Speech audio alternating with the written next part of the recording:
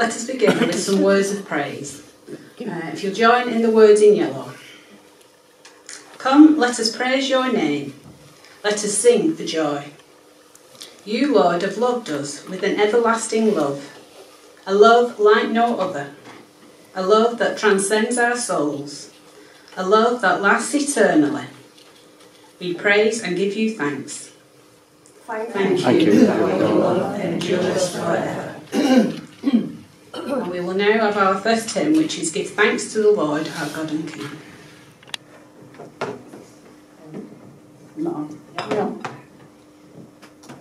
Right, this morning I've uh, brought a friend along with me, um, and some of you will have met him before, and it's it's Jack. But I haven't seen him recently, have you? Yeah. No. Seems to have disappeared. No, not seen him for a while. Jack, where are you? Perhaps if we all shout for Jack, he might appear. Jack! Jack! Jack! Where are you? Hello, Jack. Where have you been? Uh, I was in the car park helping Bill clear up the leaves. Really? Are you telling me the truth? Uh, well, I wanted to, but it was it was much more fun playing in all the leaves. That was great. Well, I hope you didn't make a mess. So is autumn your favourite time of year then? Um, yeah, I love autumn because it's, oh yeah, I get to play in the leaves, but um, I like spring as well. Oh yes, spring is so lovely, isn't it? All the daffodils and snowdrops. Yeah. And Easter eggs, yeah! Oh, what do you like? I like summer as well. Sun, sea, sand, and ice creams with a chocolate flake in, yeah! oh, and I like winter too. I bet that's because you like your chocolate in your advent calendar. No, it's because it's Jesus' birthday. And I get presents and lots of chocolate, yeah! oh, I get it, you love chocolate. But talking about Jesus' birthday, do you know why Jesus was born? Uh, so I can have chocolate? No. It's because God loves you. God loves me? You sure? Yes, God loves you and me and everybody who's here today. God sent Jesus to save us. We just need to turn to God and believe in Him, and we will have everlasting life with God. Isn't that wonderful news? Yeah. Yeah, I, I guess so. So, even when I mess up, God still loves me? Yes, even then. God loves you. And when we mess up or do wrong things, if we ask Him, He will forgive us. Brilliant. Uh, can I can I sing a song about love? I, I know a song about love. Can we have that? Is that okay? I think that's a great idea. Well, and okay if Mia joins me. Of course it is. It'd be nice to see Mia as well. Hi, Mia. Hello.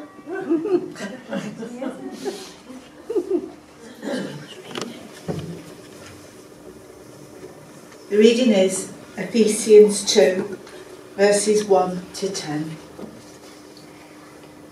As for you, you were dead in your transgressions and sins, in which you used to live when you followed the ways of this world and of the ruler of the kingdom of the air, the Spirit who is now at work in those who are disobedient. All of us also lived among them at one time, gratifying the cravings of our flesh and following and following its desires and thoughts. Like the rest, we were by nature deserving of wrath. But because of his great love for us, God, who is rich in mercy, made us alive with Christ, even when we were dead in transgressions. It is by grace that you have been saved. And God raised us up with Christ and seated us with him in the holy realms in Christ Jesus, in order that in the coming ages he might show the incomparable riches of his grace expressed in his kindness to us in Christ Jesus. For it is by grace you have been saved, through faith, and this is not from yourselves, it is a gift of God, not by works, so that no one can boast. For we are God's handiwork, created in Christ Jesus to do good works, which God prepared in advance for us to do. Amen.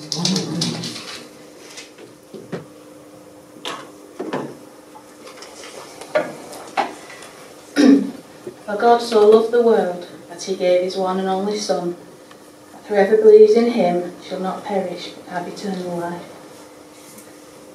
For God did not send his Son into the world to condemn the world, but to save the world through him. Whoever believes in him is not condemned. Whoever does not believe stands condemned already, because he has not believed in the name of God's one and only Son. This is the verdict. Light has come into the world, but men loved darkness instead of light, because their deeds were evil. Everyone who does evil hates the light and will not come into the light for fear that his deeds will be exposed. But whoever lives by the truth comes into the light, so that it may be seen plainly that what he has done has been done through God. Praise the Lord. Amen.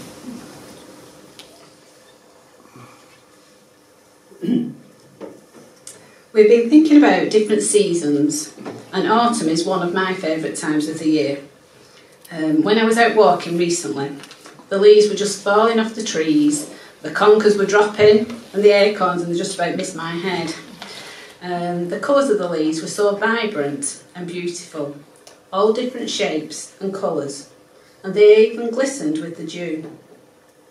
It then struck me how it reminded me of a verse in the Bible which, which isn't actually about autumn at all, but is the foundation of what being a Christian is all about.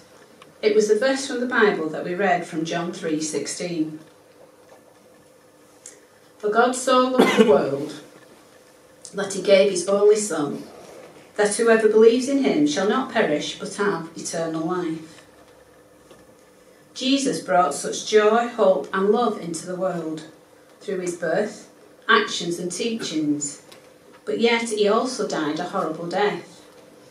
But just like the leaves die and provide nourishment to the ground over the winter, so that in spring new life sprouts up and blesses us once more with colour and beauty, so too did Jesus. He died so we too can have everlasting life. But unlike the leaves that keep dying, Jesus died once and for all. Then, being raised to life, he ascended into heaven. In Ephesians, it says,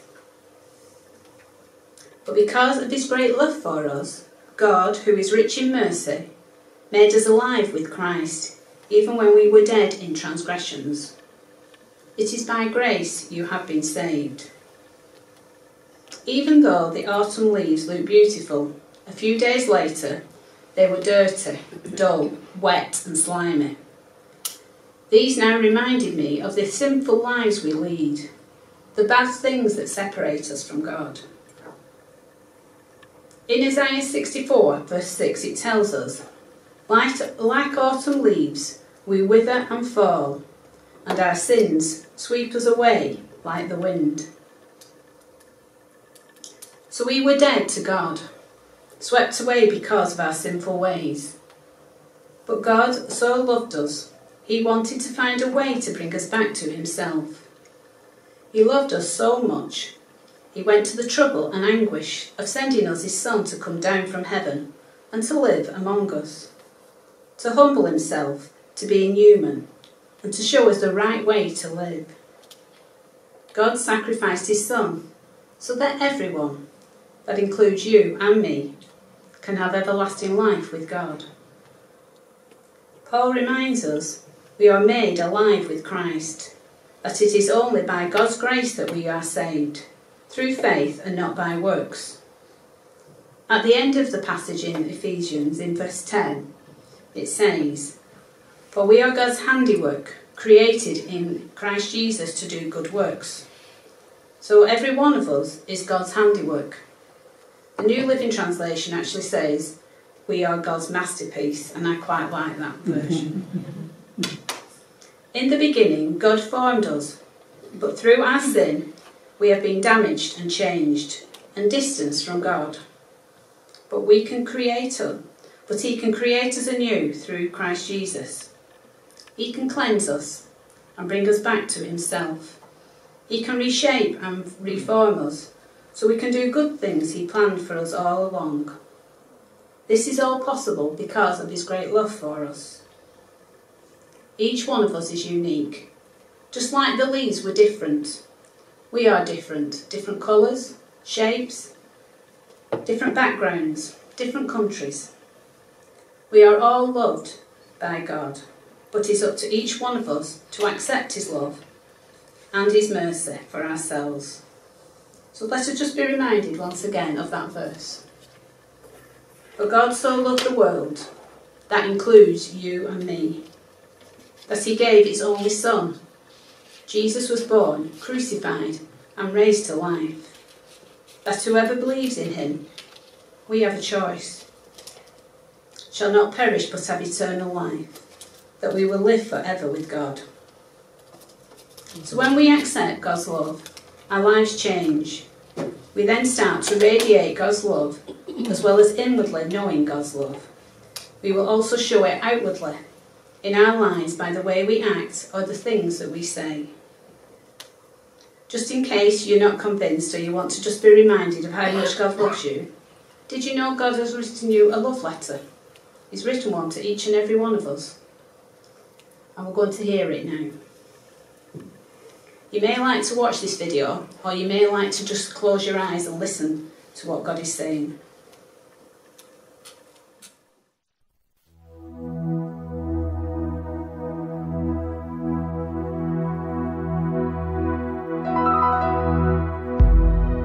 The words you are about to experience are true. They will change your life if you let them. For they come from the very heart of God. He loves you, and He is the Father you have been looking for all your life. This is His love letter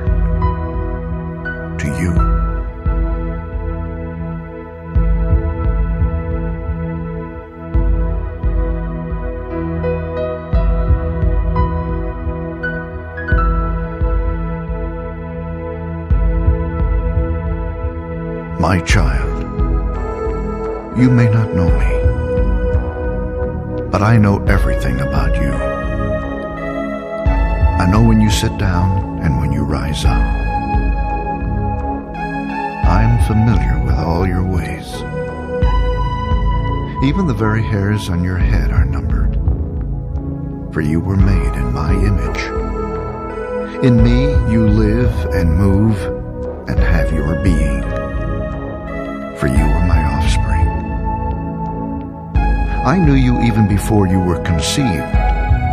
I chose you when I planned creation. You were not a mistake, for all your days are written in my book. I determined the exact time of your birth and where you would live. You are fearfully and wonderfully made. I knit you together in your mother's womb and brought you forth on the day you were born. I have been misrepresented by those who don't know me. I am not distant and angry, but am the complete expression of love. And it is my desire to lavish my love on you, simply because you are my child and I am your father. I offer you more than your earthly father ever could. For I am the perfect father. Every good gift that you receive comes from my hand. For I am your provider and I meet all your needs. My plan for your future has always been filled with hope. Because I love you with an everlasting love. My thoughts toward you are countless as the sand on the seashore, and I rejoice over you with singing. I will never stop doing good to you, for you are my treasured possession. I desire to establish you with all my heart and all my soul, and I want to show you great and marvelous things. If you seek me with all your heart, you will find me. Delight in me, and I will give you the desires of your heart. For it is I who gave you those desires. I am able to do more for you than you could possibly imagine. For I am your greatest encourager. I am also the Father who comforts you in all your troubles. When you are broken-hearted, I am close to you. As a shepherd carries a lamb, I have carried you close to my heart. One day, I will wipe away every tear from your eyes, and I'll take away all the pain you have suffered on this earth.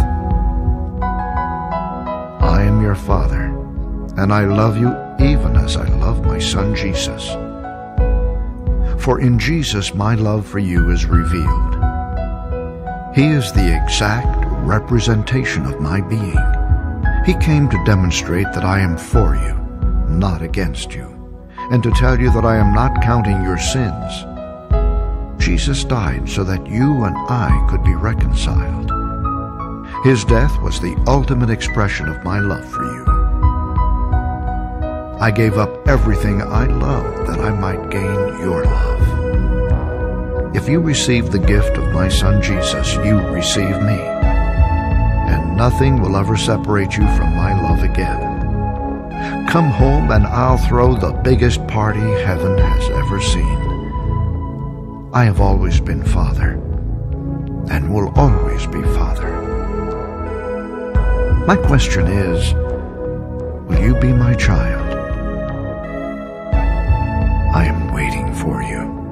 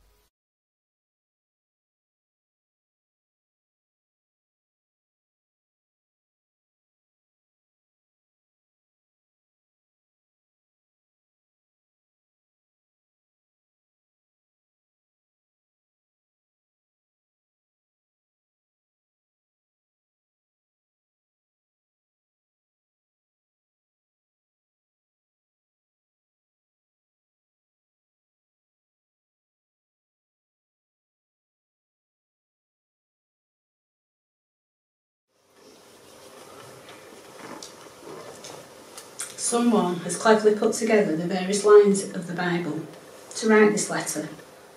But it's all true. They are words from the Bible, from God to you and to me. To me, there's nothing more to say than to accept God's love.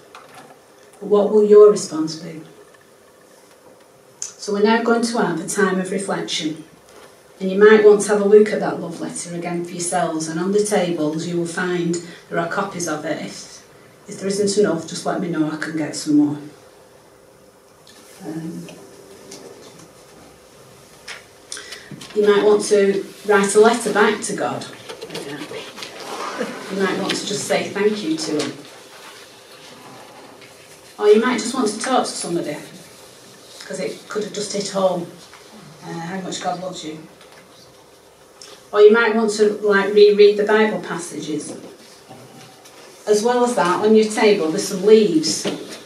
Because of God's love, we're going to use these in response um, to God's love for us in our prayers of intercession when we pray for our world and our country and for people that we know in our town. Um, so please, if you can, put something on one of the leaves and put them on the, the board and we'll use those in our prayers later. There's also a mindfulness colouring sheet uh, if you want to do that and also in the corner we've got a sandpaper prayer and there's also an activity with Louise in the overflow. Um, you might not want to join in with any of the activities, which is fine. Um, just get yourself another brew and just have fellowship with one another and to just have this time to share together. And we'll um, come back about, about 20 past, 25 past.